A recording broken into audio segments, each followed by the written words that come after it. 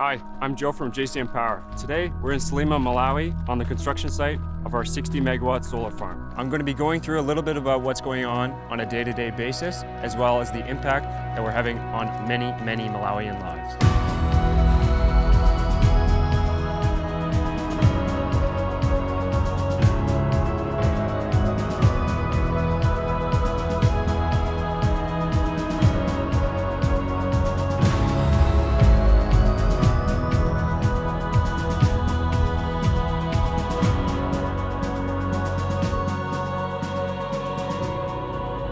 A pretty amazing feeling when you work and live and, and grew up in Canada.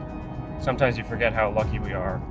When you come to a place like this and you see the smiles that they have despite not having some of the necessities or the luxuries that we grew up with, it helps you remember what a real problem is. Six months ago in May uh, 2019, the site was actually not fully cleared. Clearing means uh, that all the vegetation and the trees which have to be removed are actually removed. In the course of May, June uh, this year, we have cleared the whole site and compacted. We are looking to employ at least 300 local Malawian laborers for the project. The ultimate benefits of the project will include more than 20% of the current generation capacity in the country as it is now.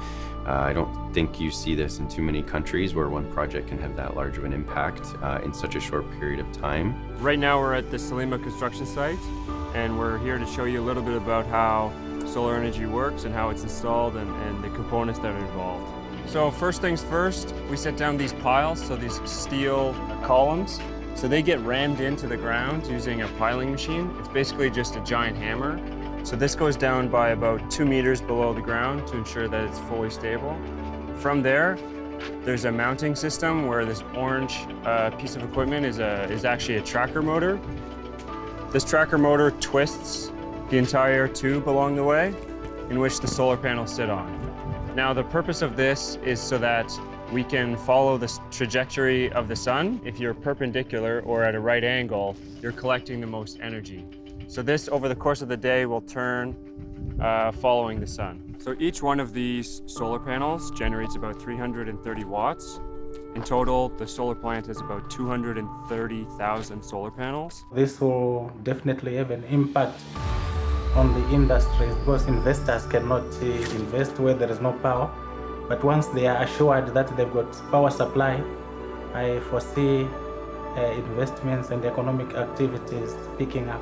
There are a lot of countries that JCM could have gone to implement their project, but they chose Malawi. They're looking at the challenges that we are having here in Malawi. This will be a wonderful contribution to the economy and the whole population of Malawi.